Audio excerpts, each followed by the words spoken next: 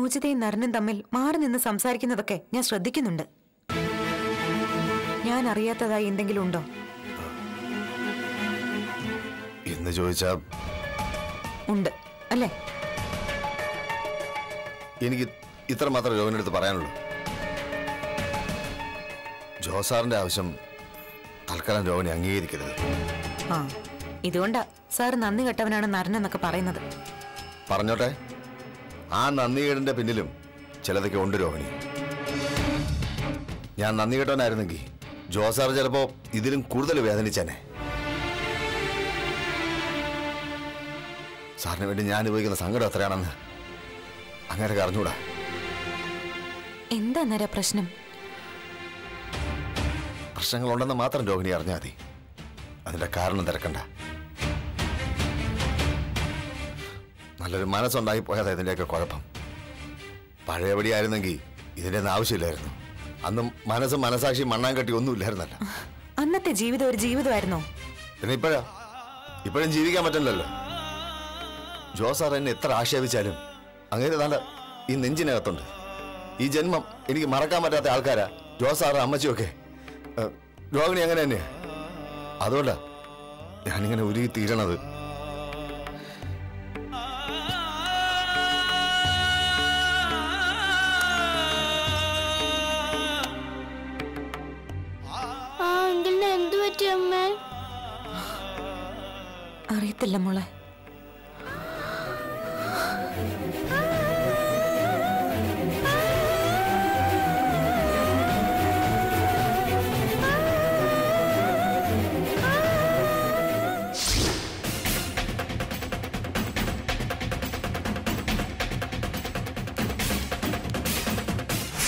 എന്തായി സാറേ.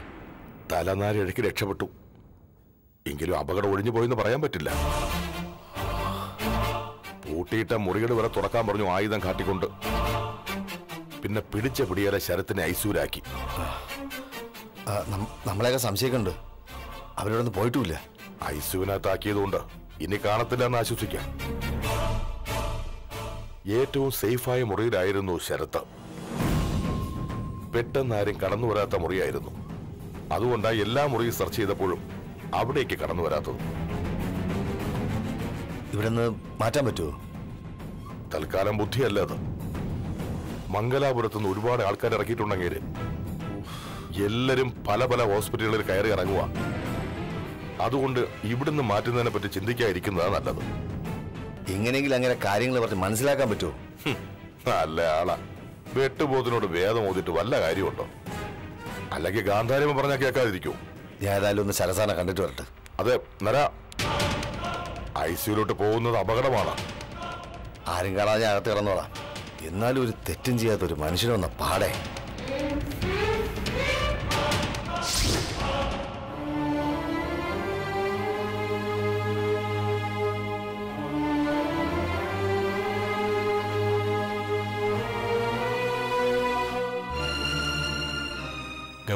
രക്ഷപ്പെട്ടു. ഇനി എന്തൊക്കെ സഹിക്കേണ്ടി വരുമോ എന്ന് ജീവിക്കണമെങ്കിൽ. രക്ഷപ്പെട്ടത് എന്നെ മഹാഭാഗ്യമല്ലേ സാറേ? എനിക്കതൊരു ഭാഗ്യമായിട്ട് തോന്നുന്നില്ല. വീണ്ടും ഒരു പരീക്ഷണത്തെ അതിജീവിച്ചു. എന്നാ ഇനി അതിലും വലുത് ഒരുപാട് വരാനുണ്ട്. തൊട്ടു മുന്നിലൂടെ എവിടെ പോയത്? പക്ഷെ കണ്ടില്ല. അങ്ങനെയൊന്നും മരിക്കേണ്ട ആളല്ല സാറ്.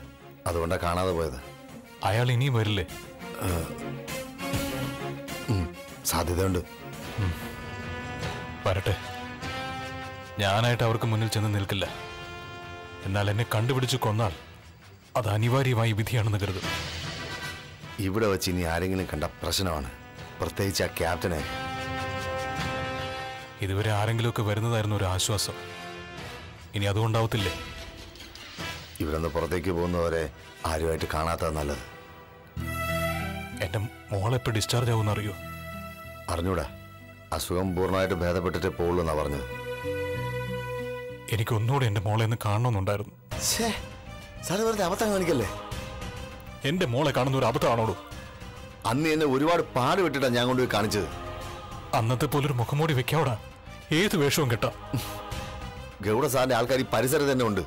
ഞങ്ങളെയൊക്കെ സംശയിക്കുന്നത് കൊണ്ട് ഞങ്ങൾക്ക് ആർക്കും തിരിച്ചറിയാൻ പറ്റാത്തവരെയായിരിക്കും നിർത്തിയിരിക്കുന്നത്. രോഹിണിയുടെ ബന്ധുക്കളാണെന്ന് പറഞ്ഞ ആരെങ്കിലും നിർത്തിയാലും നമ്മൾ അറിയില്ലല്ലോ ഇതിനകത്ത് കിടക്കുന്നതിന്റെ പാട് നിനക്ക് അറിയത്തില്ല. എല്ലാ സമയത്തും നല്ല ഭക്ഷണം കിട്ടുന്നുണ്ട്. എന്നാൽ അത് കഴിക്കാനുള്ള മൂഡ് വേണ്ടേ? വിശപ്പ് വേണ്ടേ? എല്ലാം ശരിയാവും സാറേ. സഹിക്കാൻ പറ്റാതായാലേ ഞാൻ ഇതിനകത്ത് നിന്ന് ഇറങ്ങി അങ്ങ് നടക്കും. സാർ ഞങ്ങളെ കൊല്ലല്ലേ?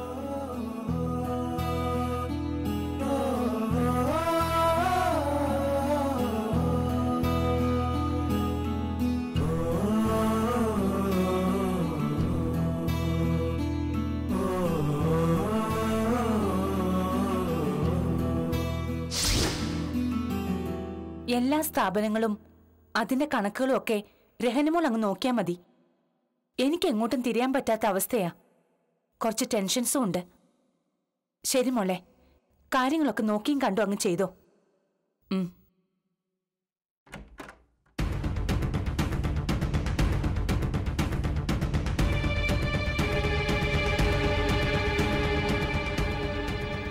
എന്താ ക്യാപ്റ്റൻ? തൽക്കാലം രക്ഷപ്പെട്ടു.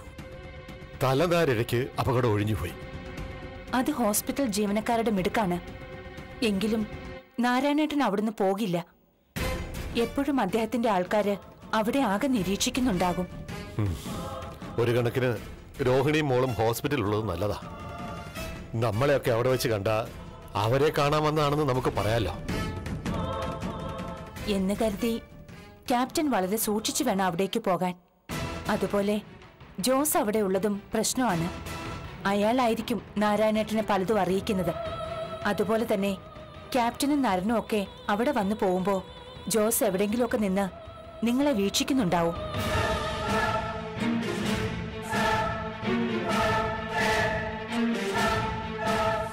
ഐസിയുവിനകത്തൊക്കെ കയറി നാരായണേട്ടൻ നോക്കി. ആ സമയത്ത് ശരത് അവിടെ ഇല്ലാതിരുന്നത് ഭാഗ്യം. ആ ഹോസ്പിറ്റലിൽ നിന്ന് അവനെ മാറ്റിയാലോ? അത് ബുദ്ധിയല്ല. ഇത്രയധികം എനിക്ക് സ്വാധീനമുള്ള മറ്റു ഹോസ്പിറ്റലുകൾ ഇവിടെ ഇല്ല പിന്നെ അവിടെ തന്നെ രണ്ടു മൂന്ന് ബ്ലോക്കുകളുണ്ട്. ഈ ഡോക്ടേഴ്സിന് താൽക്കാലികമായി താമസിക്കാനും വിശ്രമിക്കാനുമുള്ള മുറികളുണ്ട്. അവിടെ എവിടെയെങ്കിലും ശരത്തിനെ മാറ്റാവുന്നതേയുള്ളൂ. അവൻ അരുതാത്തതെന്തെങ്കിലും സംഭവിച്ചാൽ സംഭവിച്ചാ പിന്നെ നമ്മളൊക്കെ ജീവിച്ചിരുന്നിട്ട് കാര്യമില്ലമ്മേ. അവിടെ നിന്നിപ്പോ അവനെ നമ്മൾ മാറ്റാൻ താല്പര്യം കാട്ടിയാലും അവൻ നിന്നു തരുമെന്ന് തോന്നുന്നില്ല.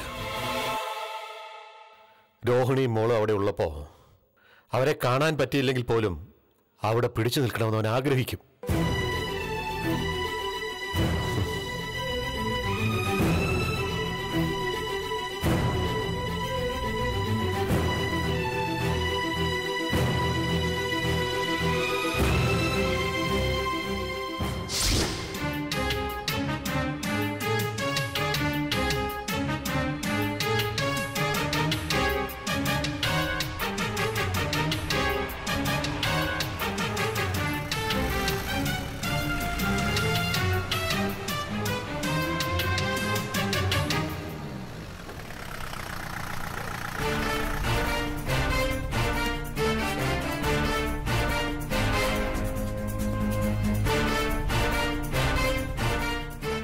എല്ലായിടും തെറഞ്ഞു കണ്ടില്ല. അയ്യർ പിന്നെ അവിടെ വന്നതെന്നിരുന്നു ഹോസ്പിറ്റൽ മാനേജറോട് തിരക്കി. ഗാന്ധാരിയുടെ പാർട്ട്ണർഷിപ്പുള്ള ഹോസ്പിറ്റലല്ലേ? ആശ്രമത്തിലെ അന്തേവാസികളായ ആരെയോ അവിടെ അഡ്മിറ്റ് ചെയ്തിട്ടുണ്ട്. അയാളെ കാണാൻ വന്നതാണ്. ചിലപ്പോ ശരിയായിരിക്കാം. പിന്നെ അയ്യരെ ഞാൻ കണ്ട സ്ഥിതിക്ക് അപകടം മണന്തെങ്ങി അയാൾ അവിടെ നിന്ന് മാറ്റാനുള്ള ചാൻസ് ഉണ്ട്. ഞങ്ങൾ എല്ലായിടവും തിരഞ്ഞു. പലരെയും ഭീഷണിപ്പെടുത്തി ചോദിക്കുകയും ചെയ്തു. എന്നിട്ട് ഒരു വിവരവും കിട്ടിയില്ല. ഇടയ്ക്ക് എന്നെ ഗാന്ധാരി വിളിച്ചിരുന്നു. ഞാൻ ഹോസ്പിറ്റലിൽ നിൽക്കുമ്പോ. അവളുടെ കോൾ ഇപ്പൊ ഞാൻ അറ്റൻഡ് ചെയ്യാറില്ല. എന്തിനാത് വിശ്വാസം പഞ്ചർ ചെയ്യുന്നവളെ അകറ്റി നിർത്തണം. പെണ്ണായി പോയി.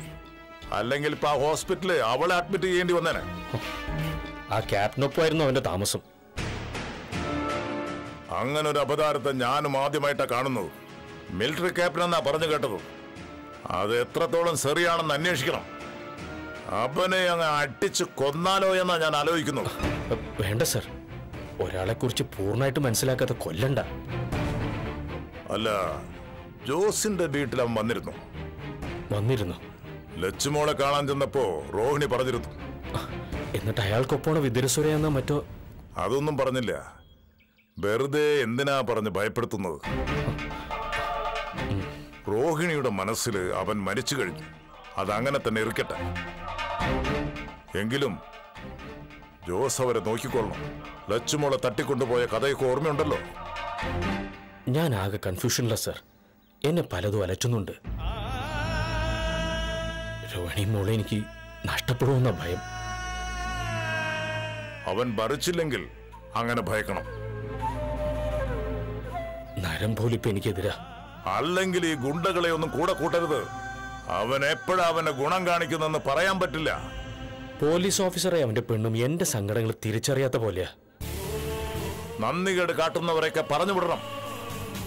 പിന്നെ ഗാന്ധാരി മോചിത നറൻ ഇവരെല്ലാം ഒന്നിച്ചു നിൽക്കുകയാണെങ്കിൽ അതിന് പുറകിൽ വിതരസുര ഒരുക്കിയ ട്രാപ്പുണ്ടോ എന്ന് നമ്മൾ ചിന്തിക്കണം. പേടിക്കണ്ട. അവന്റെ മരണ വാർത്ത ഉടനെ കേൾപ്പിക്കാം. ധൈര്യമായിട്ടിരിക്കെ. ആ വണ്ടിയിടും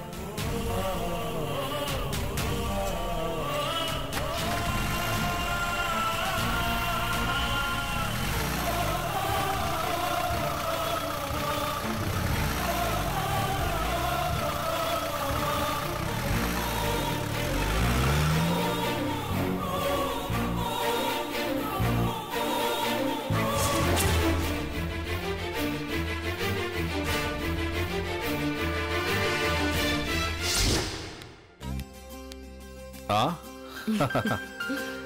ഇത് നമ്മുടെ ദേവയാനിയല്ലേ? ഇരിക്കണം. ഇരിക്കും ഞാൻ സീരിയൽ സ്ഥിരം കാണാറുണ്ട് കേട്ടോ. താങ്ക് യു എന്താ വന്നത്? ഓർണമെന്റ്സ് എന്തെങ്കിലും പണയം വെക്കാനുണ്ടോ? അതോ പണമായിട്ട് എന്തെങ്കിലും ഡെപ്പോസിറ്റ് ചെയ്യാനുണ്ടോ? അയ്യോ നെൽസൺ സാർ ഒന്നും പറഞ്ഞില്ലായിരുന്നോ? അല്ല ഞങ്ങൾ വരുന്ന കാര്യം നെൽസൺ സാർ വിളിച്ച് പറഞ്ഞില്ലേന്ന്. ഏത് നെൽസൺ? ആഹാ.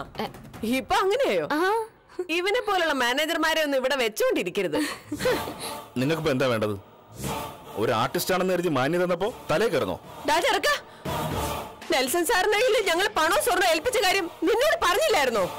നിങ്ങൾ ഈ പറയുന്ന നെൽസനെ ഒന്നും എനിക്ക് അറിയത്തില്ല. നിങ്ങളുടെ പണോ സ്വർണോ ഒന്നും ഇവിടെ തന്നിട്ടില്ല ചുമ്മാ അനാവശ്യം പറയരുത് കേട്ടോ. എനിക്കും അത് തന്നെ പറയാനുള്ളത്. വല്ലവരുടെ കയ്യിൽ പണവും സ്വർണവും കൊടുത്തിട്ട് ഇവിടെ വന്ന് തിരക്കുക ഞാനതിന് സമാനം പറയണോ? ദേ, നെൽസൺ സാറ് ഞങ്ങളുടെ കയ്യിൽ നിന്ന് പണം സ്വർണമൊക്കെ വാങ്ങിയിട്ട് ഇത് അങ്ങേരുടെ സ്ഥാപനമാണെന്നാ പറഞ്ഞേക്കുന്നേ. ഇവിടുത്തെ ഫോൺ നമ്പറോ തന്നേക്കുന്നേ. നിങ്ങൾ ആദ്യം അയാളെ ഒന്ന് വിളിച്ചു നോക്ക്. എന്നിട്ട് നമുക്ക് സംസാരിക്കാം. മോളെ ഇപ്പൊ തന്നെ അയാളെ വിളിക്കും. വിളിക്കും വേഗം.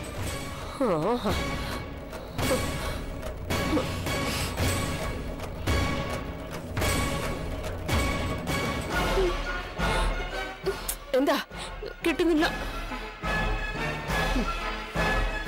ഈ നമ്പർ നിലവിലില്ല. ദയവായി നിങ്ങൾ ഡയൽ ചെയ്ത നമ്പർ എന്താ അമ്മ? നമ്പർ നിലവിലില്ലെന്നാ പറയുന്നത് ഇതുപോലെ തട്ടിപ്പും വെട്ടിപ്പുമായിട്ട് പലരും ഇറങ്ങിയിട്ടുണ്ട്. എന്നിട്ടും ആൾക്കാർ പഠിക്കുന്നില്ല. ഉള്ളതെല്ലാം അങ്ങോട്ട് കൊടുക്കും. നിങ്ങൾക്കും അത് തന്നെ സംഭവിച്ചത്. നീ എല്ലാം കൂടെ ഉള്ള ഒത്തുകളിയല്ലേ ഇത്? ഞങ്ങൾ കേസ് കൊടുക്കൂടാ. നിങ്ങൾ കൊണ്ടുപോയി കൊടുക്ക്. അപ്പൊ സത്യം അറിയാലോ. ഒന്നും രണ്ടൊന്നും അല്ല ലക്ഷങ്ങളെ കൊടുത്തത്. പിന്നെ സ്വർണവും. ഇതൊക്കെ എന്നോട് പറഞ്ഞിട്ട് എന്താ കാര്യം? പറയേണ്ടവരോട് ഞങ്ങൾ പറഞ്ഞോളാം. കൊടുത്തിട്ടുണ്ടെങ്കിൽ വായിക്കാനും എനിക്കറിയാം. വാടി ഇങ്ങോട്ട്. നോക്കിക്കോ നിന്റെ ഈ സ്ഥാപനം ഞാൻ പൂട്ടിക്കും. ഒന്ന് പോടി അവിടെ നിന്ന്. ഓട്ടിക്കാറങ്ങിയിരിക്കും ഇങ്ങോട്ട്.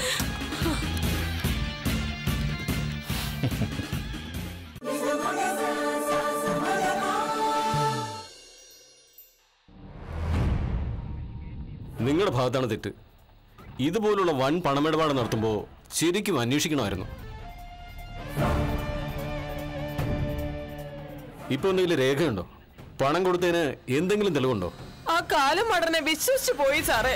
ഇതുപോലെ ചതിയുമായി വരുന്നവര് ആൾക്കാരുടെ വിശ്വാസം പെട്ടെന്ന് പിടിച്ചു പറ്റും. അങ്ങനെ ചെയ്താലല്ലേ നിങ്ങളെ പോലുള്ളവർ ഇതുപോലുള്ള അബദ്ധങ്ങളിൽ ചെന്ന് ചാടൂ.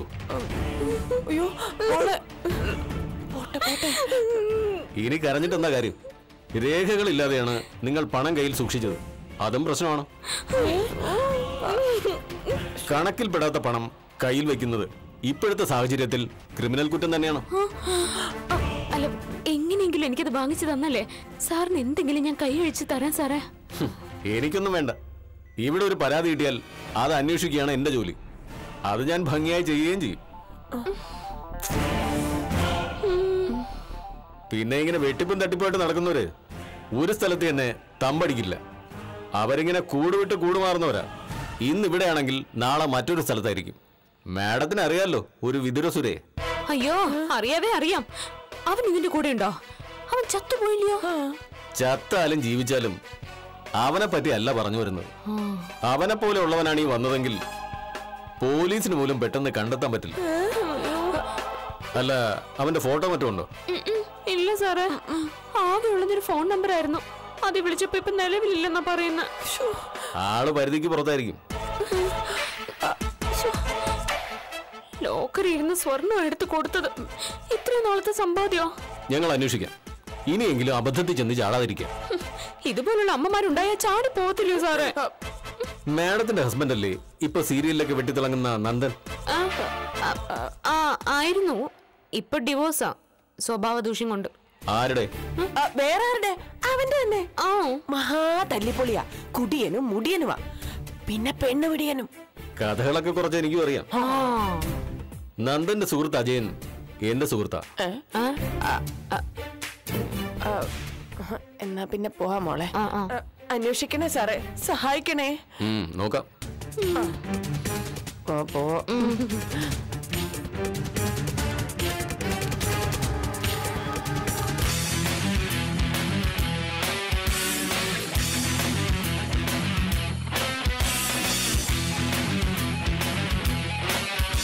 ദേ, നന്ദി. ചെയ്തെന്ന ഉപകാരത്തിനൊക്കെ നന്ദി. ഇതുവരെയുള്ള എന്റെ അധ്വാനം മുഴുവനും ഓലിച്ചു പോയത്. ഇപ്പൊ സമാധാനായല്ലോ. എടി മോളെ നല്ലതിന് വേണ്ടി ചെയ്തതല്ലേ? എന്നെ ഇങ്ങനെ സഹായിക്കല്ലേ? സ്വത്തും പണമൊക്കെ ഉള്ള അമ്മമാരായിരുന്നെങ്കിൽ കുഴപ്പമില്ലായിരുന്നു. ഇത് അഷ്ടിക്ക് വകയില്ലാത്ത അമ്മയ്ക്ക് നഷ്ടം നികത്താൻ പറ്റുമോ? എങ്ങനെയെങ്കിലും എനിക്ക് അയാളെ കണ്ടുപിടിച്ച് തരണം. അയ്യോ ഞാനെങ്ങനെ കണ്ടുപിടിക്കാനാ? എവിടെ പോയി തപ്പാനാ? പാതാളത്തിൽ. മര്യാദക്കിന്റെ പൊന്നും പണം എനിക്ക് തിരിച്ചു തന്നോണം. ഞാൻ മാത്രമല്ലല്ലോ മോളെ പ്രതി. അയാൾ ഓരോന്നൊക്കെ പറഞ്ഞപ്പോ നിന്റെ കണ്ണു മഞ്ഞളിച്ചല്ലോ. അങ്ങനെയായിരുന്നല്ലോ നിങ്ങൾ ഓരോന്നും പെരുപ്പിച്ച് പറഞ്ഞുകൊണ്ടിരുന്നത്. അമ്പലത്തിലെ തിരുമേനി പറഞ്ഞു നീ കേട്ടതല്ലേ? നിന്റെ സമയദോഷമാ എന്റെ സമയദോഷം ഇപ്പൊ നിങ്ങളാ. എന്നാ ഞാനങ്ങ് പോടി നീ ഒറ്റയ്ക്ക് ജീവിച്ചോ? അയ്യാ എന്തോന്ന് എടുത്തു വെച്ച് ജീവിക്കും? ആർക്കൊപ്പം ജീവിക്കും? അന്നിന്റെ വീട്ടിൽ അടുക്കള പണിക്ക് പോവോ പോകേണ്ടി വന്നാ ചെലപ്പോ ഞാൻ പോവും. എന്നല്ലേ? ചെല്ല്. കേട്ടാ അമ്മ അച്ഛനും ആങ്ങളി എല്ലാം കണക്കാ. എന്നെ മുടിക്കാനായിട്ട് അവതരിച്ച അവതാരങ്ങളാ നിങ്ങൾ.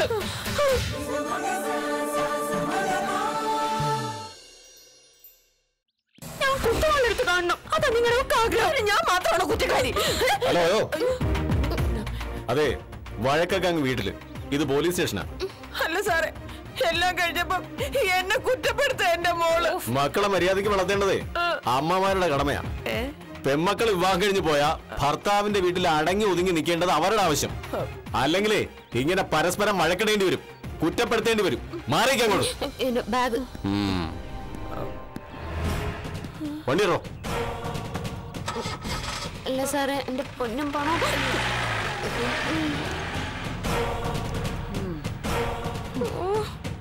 അതെ ഇവൻ മറ്റവന്റെ ആളാ. നിന്റെ മുൻ കെട്ടിയവന്റെ. അവന്റെ പ്രാക്കാ മോളെ. അവന്റെ അവന്റെ കുടുംബത്തിന്റെ വിളിച്ചോതി പ്രാർത്ഥനയാ. നിങ്ങൾ കൂടുതൽ സംസാരിക്കണ്ട. എല്ലാം കളഞ്ഞു കുളിച്ചിട്ട് നിൽക്കുക മോളെ.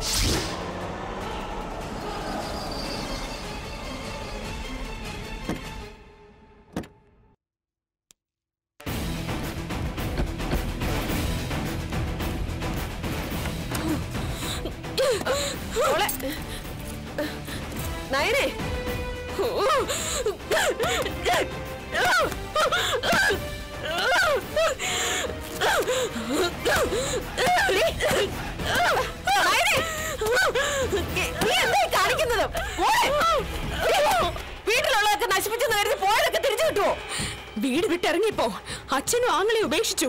അവിടെ അമ്മയും വിട്ടുകളയേണ്ടതായിരുന്നു ഇപ്പൊ നീ അങ്ങനെയൊക്കെ പറയും. മുങ്ങിയവൻ ഇനി എവിടെ പോയി തപ്പാനാ? അവൻ പഠിച്ച കള്ളനാ. അവനെ പെട്ടെന്നൊന്നും പിടിക്കാൻ പറ്റുമെന്ന് തോന്നുന്നില്ല. ലക്ഷ്യങ്ങളുടെ മുതലാ പോയത്. ഇനിയിപ്പോ ഈ വീട് വിൽക്കേണ്ടി വരും. മോൾ നന്നായിട്ട് അധ്വാനിച്ചാ മതി. നമുക്ക് നഷ്ടപ്പെട്ടതെല്ലാം തിരിച്ചു പിടിക്കാവുന്നതേ ഉള്ളൂ. എവിടെ എടുത്തു വെച്ച് തിരിച്ചു പിടിക്കാനാ? പ്രശസ്തി ഇടിഞ്ഞുകൊണ്ടിരിക്കുക ഓരോ ദിവസം കഴിയും തോറും. അത് മറക്കണ്ട. ഇനിയിപ്പോ ഉദ്ഘാടനങ്ങളൊക്കെ കുറയും. മാസം തോറും ആ ഇനത്തിൽ നാലഞ്ച് ലക്ഷം രൂപ കിട്ടിക്കൊണ്ടിരുന്നതാ. എല്ലാം ഒറ്റയടിക്കാ ഷൂ ആയത്. ആൾക്കാരുടെ അസൂയ മോളെ. ഓ വിളിച്ചിരുത്തിയതാ എന്റെ മോളെ. ഇനിയിപ്പോ അങ്ങനെയൊക്കെ പറയാം. കയ്യിലിരുന്ന പൈസ കണ്ണു കണ്ടതിന് എറിഞ്ഞു കൊടുത്തിട്ട്. ആ എസ് ഐയുടെ മട്ടും ഭാവം കണ്ടിട്ട് അയാൾ അന്വേഷിക്കുന്നൊന്നും എനിക്ക് തോന്നില്ല ഇതെല്ലാവരും കൂടി ഒത്തുചേർന്നുള്ള കളിയാണോ എന്ന് എനിക്ക് സംശയമുണ്ട്. ആ നന്ദൻ ഉൾപ്പെടെയുള്ളവര്.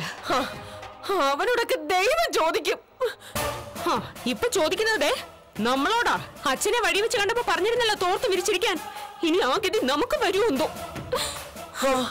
അയാളുടെ പ്രാക്കുണ്ട് ഇതിന് പിന്നിൽ. ഇനിയിപ്പോ മറ്റുള്ളവരുടെ തലയിൽ പഴിചാരി രക്ഷപ്പെടാൻ നോക്കണ്ട. തെറ്റ് പറ്റിയത് നമുക്ക് തന്നെയാ. മനുഷ്യനായ അത്യാഗ്രഹം പാടില്ല. ഉള്ളത് കൊണ്ട് തൃപ്തിപ്പെടാൻ ശ്രമിക്കണം.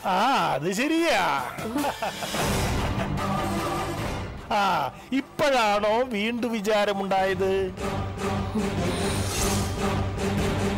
ആ ഇതെന്താ തലാണയൊക്കെ കീറി വെച്ചേക്കുന്നത്? ഇയാളെന്തിനാ ഇപ്പൊ ഇങ്ങോട്ട് വന്നത്? ഇത് ഇതുവഴി പോയപ്പോ ഒന്ന് കേറിയെന്നേ ഉള്ളൂ. എന്തോ പ്രശ്നമുണ്ടല്ലോ. അമ്മയുടെയും മകളുടെയും മുഖത്തൊരു മ്ലേനത. എന്തെങ്കിലും ആയിക്കോട്ടെ. നിങ്ങൾ നിങ്ങളുടെ പാട് നോക്കി പോവാൻ നോക്ക്. അയ്യോ ഞാൻ പോയിക്കോളാമേ മോൾ മോളുടെ കുഞ്ഞിനെ കാണാൻ പോകാറുണ്ടോ? ഞാൻ അവിടെ പോയാലേ മറ്റു ചില ദ്രോഹികളെ കാണേണ്ടി വരും. നന്ദന്റെ വീട്ടിലോട്ട് പോയിട്ട് കാര്യമില്ല. നിന്റെ മോളിപ്പ രഹനയുടെ ഗസ്റ്റ് ഹൗസിലാ.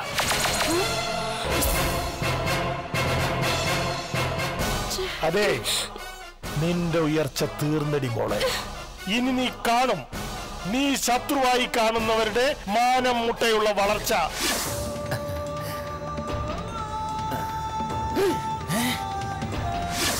അതിനവൻ മറിച്ചിട്ടില്ല. അത് എന്നേക്കാൾ മുമ്പ് അറിഞ്ഞവരാ. മോളിപ്പോ സ്നേഹിക്കുന്ന ഗാന്ധാറിയും നർണുമൊക്കെ.